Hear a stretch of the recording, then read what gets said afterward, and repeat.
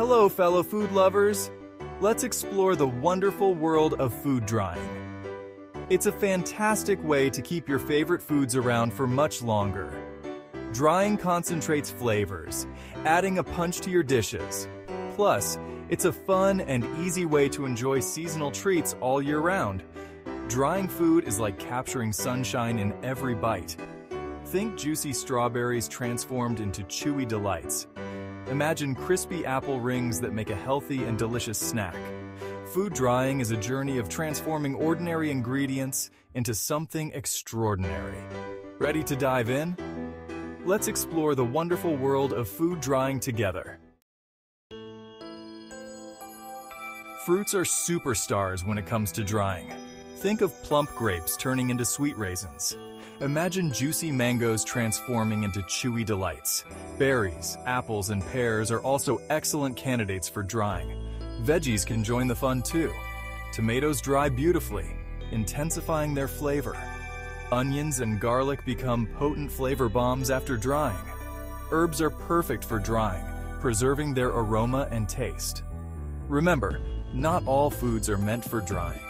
Water-rich vegetables like lettuce or cucumber don't dry well. Stick to fruits, veggies, and herbs that are ideal for this preservation method. Air drying is the simplest method. It's like nature's gentle touch preserving your food. Slice your fruits or vegetables thinly and evenly. A mandolin slicer can be your best friend here. Thread your sliced goodies onto a clean string. You can also use mesh screens or drying racks. Make sure there is enough space between each slice for air circulation. Find a warm, dry spot with good air circulation. Direct sunlight can fade colors, so a shaded area is ideal. Depending on humidity and airflow, air drying can take a few days. Aye. Section 4. Oven drying slow and steady wins the race. Your oven can be your drying ally. Set your oven to its lowest setting. You want gentle heat, not a baking frenzy. Arrange your food in a single layer on baking sheets. Prop the oven door open slightly. This allows moisture to escape, preventing steaming. Oven drying can take several hours, depending on the food's thickness. Check for dryness by feeling the texture. Dried food should be leathery or brittle, depending on the type. Remember, patience is key. Oven drying is a slow and gentle process. Section 5. Dehydrator drying. Your food's new best friend. A dehydrator is a drying superhero. It circulates warm air, drying food efficiently. Arrange your prepped food on the dehydrator trays, ensuring good airflow. Dehydrators have adjustable temperature settings. Follow the recommended temperature for the specific food you're drying.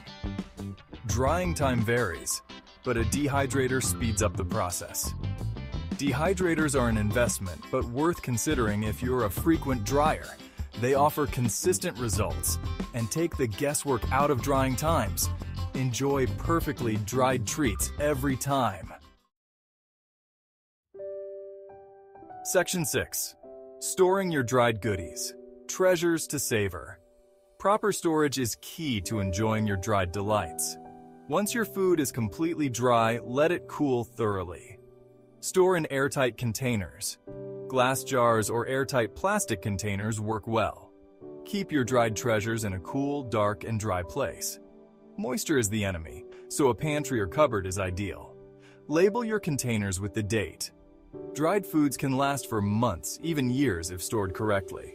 Congratulations, you've mastered the art of food drying. Enjoy your homemade goodies in trail mixes, soups, stews, or simply as a healthy snack. Happy drying!